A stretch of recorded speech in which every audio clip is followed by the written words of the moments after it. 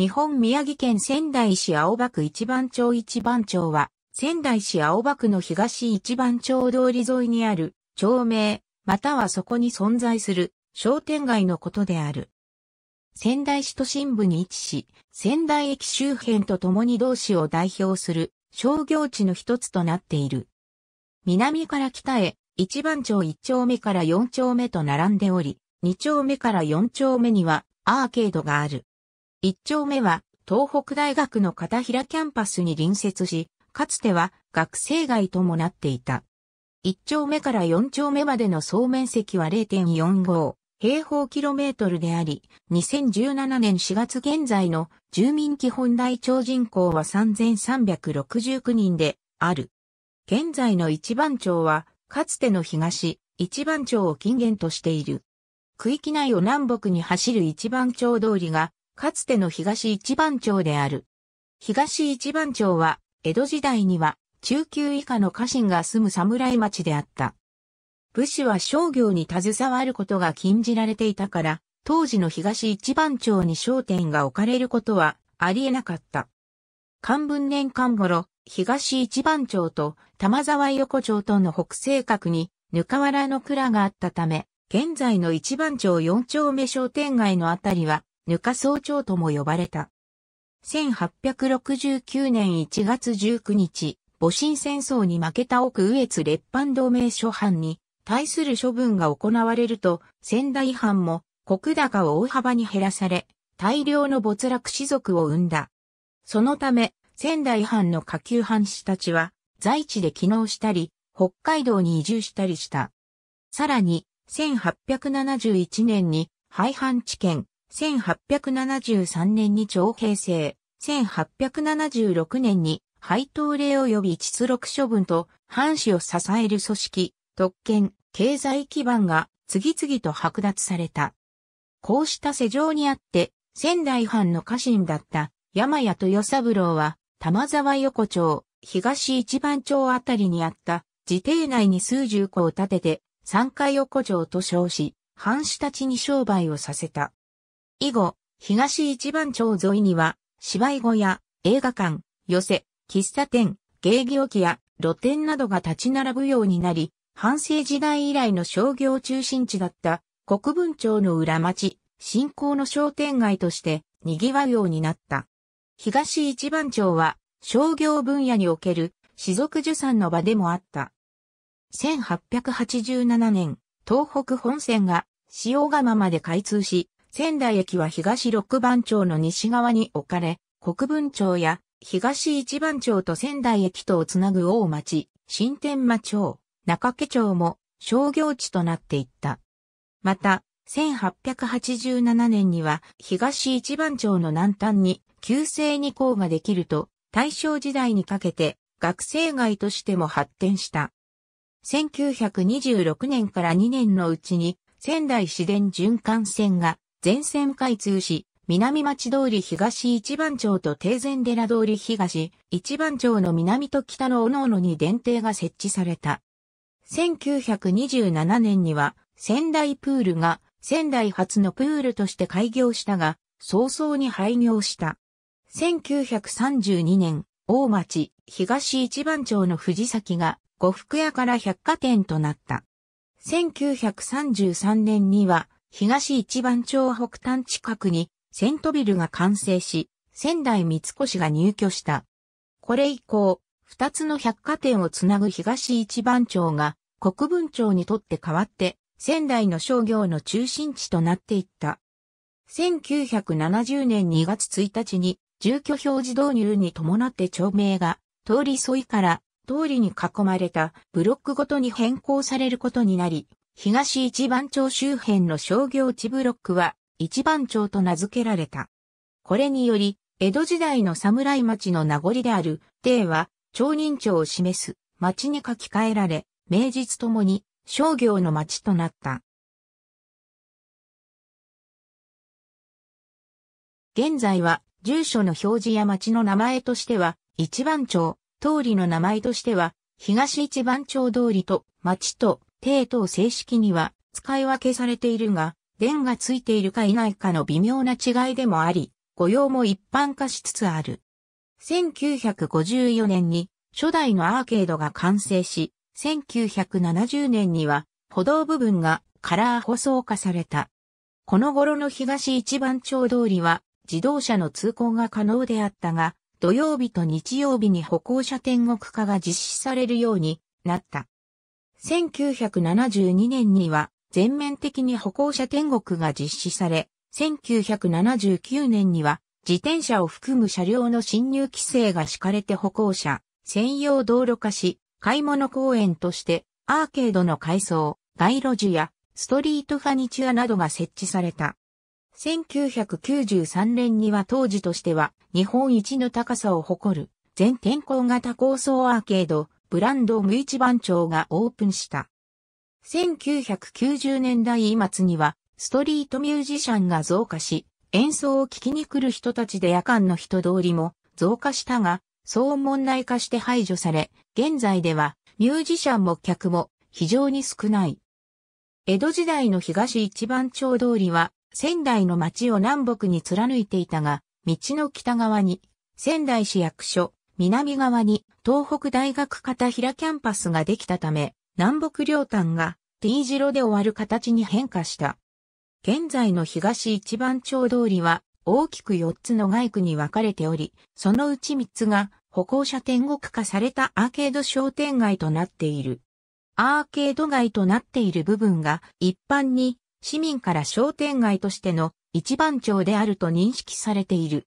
商店街の一番町は北は定前寺通りから南は南町通りまでとなっている。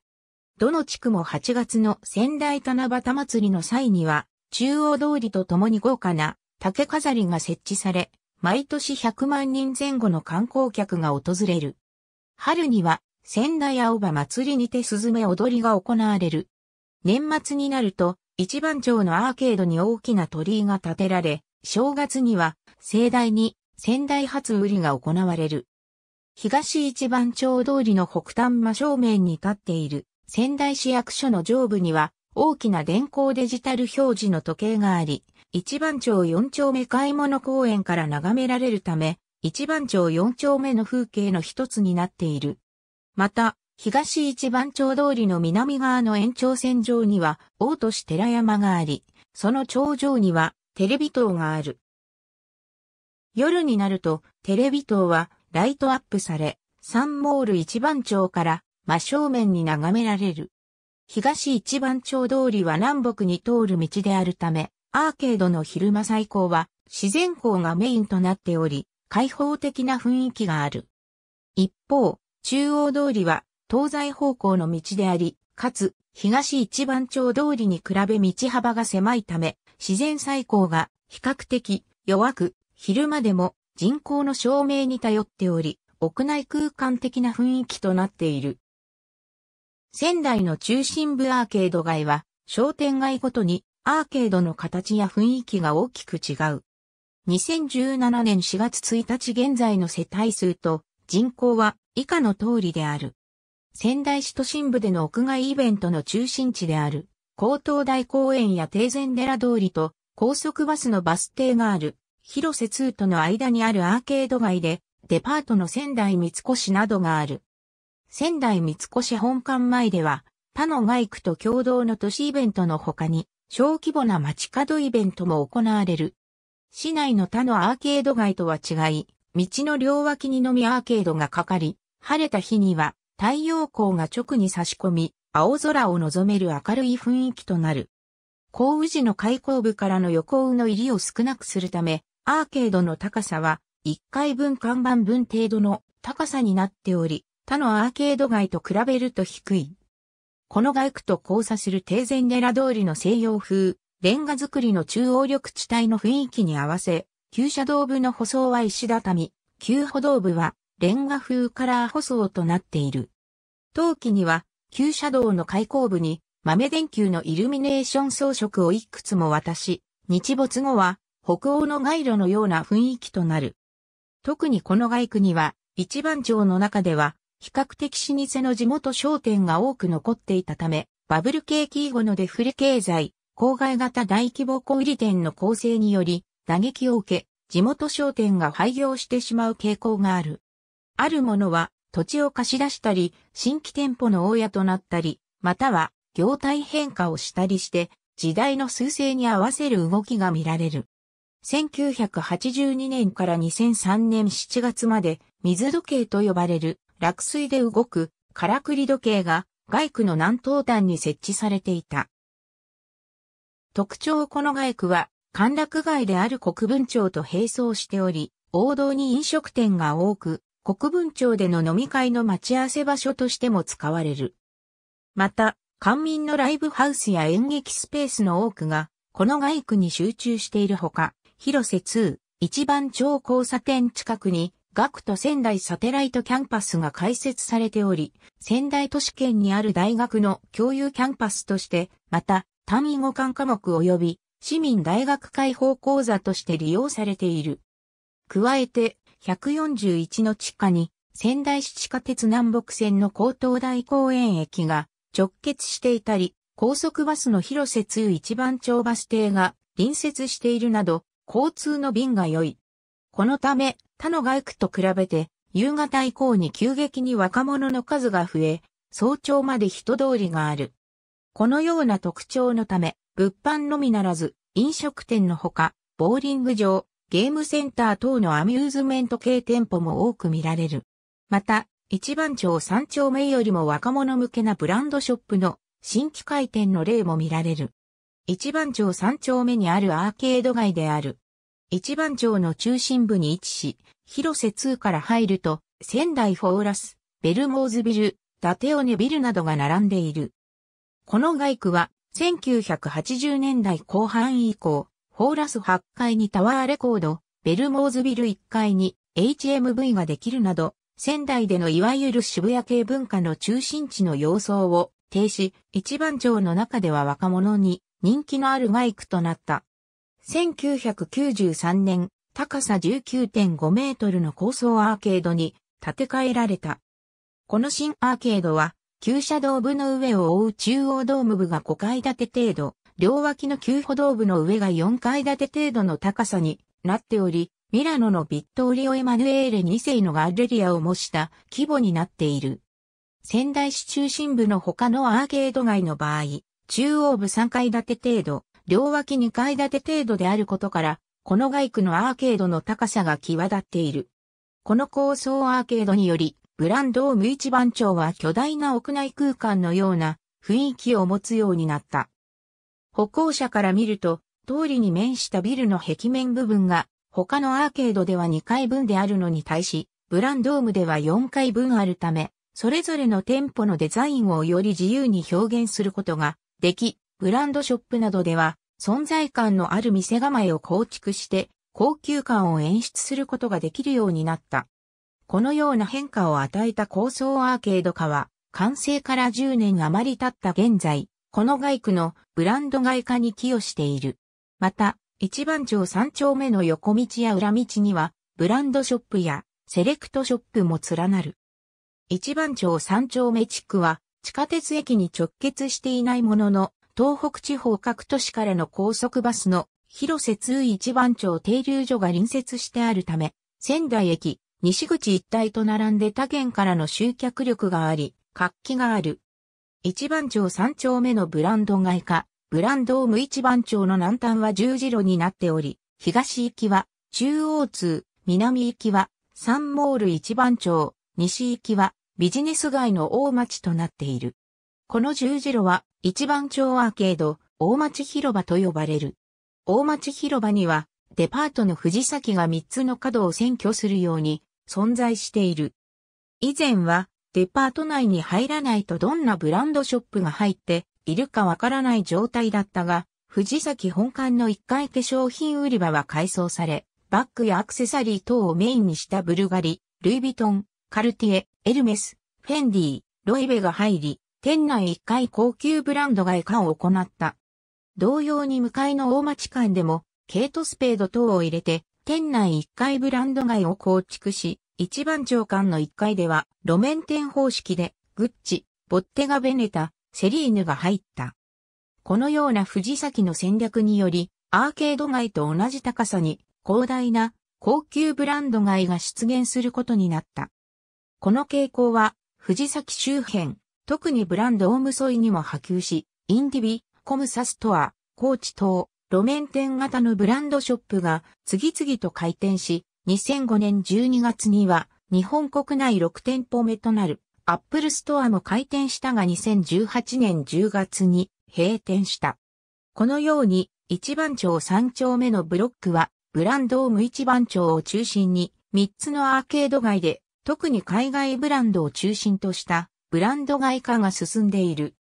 また、ファッションビルの開発も続いており、2005年2月にオープンしたクラックスにはアメリカのギャップが核店舗として入り、2006年3月17日にオープンした一番町ステアには国内4店舗目のプーマストアやスペインの衣料品、ブランドザラが出店するなどカジュアル系海外ブランドの出店も続いている。藤崎もマーブルロードを町側に隣接するビルを賃貸、改装し、2006年秋にブルックスブラザーズを出店。また、隣接している青葉通一番町角にあった個人商店を買収して3階建ての建物を新築し、2007年3月にルイ・ヴィトンを藤崎本館から大幅増床して移転させた。さらに、同年9月にはリビング館の1階、地下1階を改装して高級ブランドに入れ替えるなど、店舗前の通行人の視野に入る形の路面店型、ブランド街に加え、進路を拡張する政策もとっている。サンモール一番町一番町二丁目、及び三丁目の一部にまたがり、中央通から南町通りまで向かうアーケード街。現在のアーケードは1986年に設置された高さ13.7メートルのもので、当時は日本で最も高さのあるアーケードであった。天井付近に仕掛け時計が設置されており、時間になると人形が動く。文化横丁や123横丁などの横丁がある。この街区は東北大学片平キャンパスに接し、学生街としての店舗構成も見られた。しかし、片平キャンパスから教養部やサークル棟が川内キャンパスに移り、片平には東北大学本部と研究所しか残っていないため、街を歩く学生の数が減少し、映画館、大規模書店、大規模スポーツ用品店などが廃業、または移転した。このような経緯により、他の街区と比べて通行人は少ない。現在、宮城大学の学生らによる街の再活性化プロジェクトなどが試みられている。一方、この街区の東一番町通りに面した従来からの小売店が苦戦する中、戦後から続く横丁の方は活気が戻ってきている。横丁は高度成長期前の独特な雰囲気を残しており、一番町にありながら店舗規模が小さく回転資金が格安であるため、若者などの新規参入が活発になっている。そのため、仙台の若者の横丁回帰現象の中心地となっている。ここの横丁は、いわゆるデフレ経済の恩恵を受けた側となっているとされる。2005年2月25日、青葉ツートの角に三菱地所が開発した商業ビル、クラックスが開店。2015年に開業した仙台市地下鉄東西線の青葉通り、一番町駅は、このサンモール、一番町商店街と青葉ツートの交差点地下に設置されている。なお、類似名称の中心部アーケードとして、北海道小樽市のサンモール一番街がある。一番町一丁目にあたる地区である。南町通りの南側のサンモール、一番町商店街に続く東一番町通りは、東北大学の門前にあって、学生街としての店舗構成が色濃かった地区である。現在、古本屋や学生向けの飲食店などが数軒残っているが、駐車場になったところもある。この街区にアーケードはなく、歩行者専用道路でもない。一般にこの街区は商店街としての一番町には含まれないが、一番町二丁目と同様、出店コストの低さから若者向けのファッション、関連店舗が裏道を含めて増加しており、地域限定ファッション雑誌であるカラーに紹介される例が見られる。この街区には、東北工業大学一番町ロビーがあり、さらに南に行くと、東北大学片平キャンパスに突き当たる。キャンパス内には、東一番町通りに続いて、道があり、東北大学を抜けると、東北学院大学土樋キャンパスに至る。マーケティングでいう FT 層は、客単価が低いが町と食を結びつけ、原宿のクレープ、難波のたこ焼きなど、歩きながら食べられる、店外飲食型の安価なグルメをしている。現在の一番町では、三丁目のお茶屋の抹茶ソフトクリームがこれにあたる。以前は、四丁目では、クレープやハーゲンダッツアイス、三丁目では、笹錦ソフトクリームやベルギーワッフルなども各店から販売されていたが、現在は抹茶ソフトのみである。なお、中央通では新天魔町の笹かまぼこ屋のひょうたん揚げ、仙台駅ではずんだシェイクが現在も販売され、行列ができる時もある。仙台駅より徒歩の場合、中央通を経由していくのが一般的であり、約20分ほどかかる。高速道路からは東北道と直結する仙台西道路の立町トンネル口からすぐ。付近の駐車場は1時間300円程度。ありがとうございます。